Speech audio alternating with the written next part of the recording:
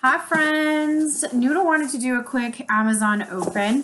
Um, it's really not a big deal, but she saw a box and she has to see what's inside. Um, but this came from Amazon today. And she didn't even know or care that it existed until I was about to open it. So, what's in there? I know it's not even open all the way. Hold on. I, I know. Apparently, we're very excited about it. Oh, oh, oh, we're gonna get a, you put your whole face in there. What is it? What is in there? What is it? It's uh, another box. Another box.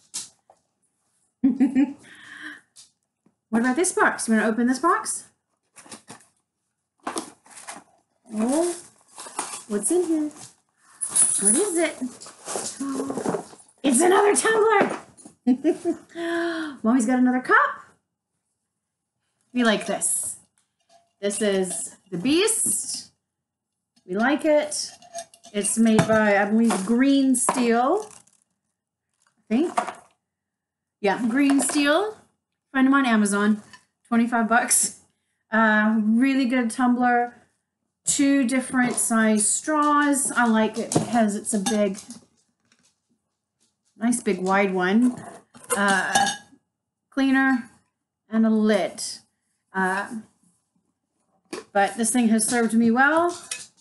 So I figured it's time for another one and I can get rid of the cheap ones because the cheap ones aren't worth it.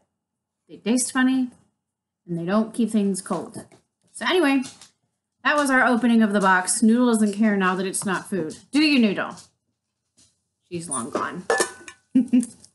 Have a good night, guys.